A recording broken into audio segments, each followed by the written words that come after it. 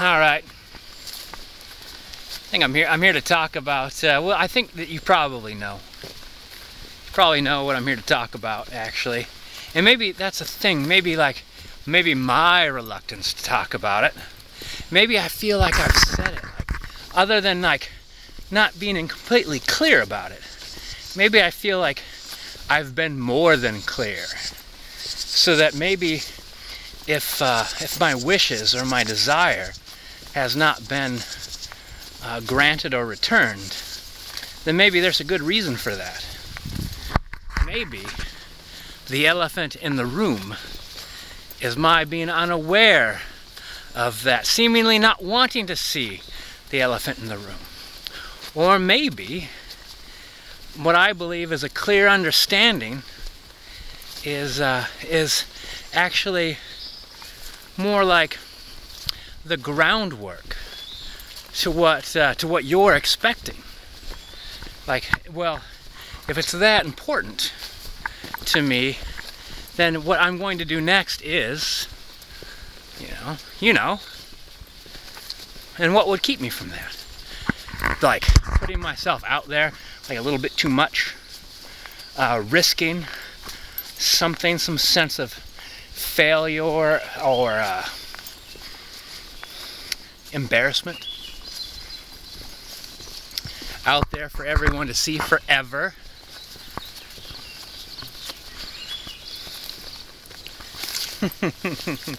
or maybe it's just a game. Like a uh, like why why rush to talk about the elephant in the room? Um, what's the hurry? Isn't uh, isn't this trail uh, wonderful? Do I really want to rush to the destination? I mean, I want to get to the destination. The destination sounds awesome. In my mind, it's more than awesome.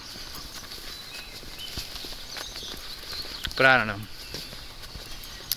I don't know. Sometimes it does seem best uh, to not discuss the elephant in the room.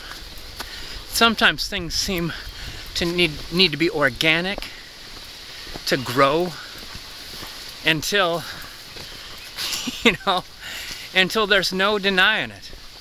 There's no denying it. And maybe uh, ignoring the elephant in the room is an excellent, no, not ignoring it, acknowledging it and cherishing it actually is actually an excellent foundation to what comes after the destination. You don't just arrive rushing pell-mell to the destination. And you're like, oh, okay, well, that was really great.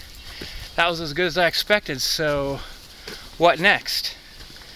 What next if having traveled a long distance to that destination, I suppose, you would be familiar with each other and uh, with uh, with your perceptions and your hopes and your dreams and the things that make you you and sharing them together.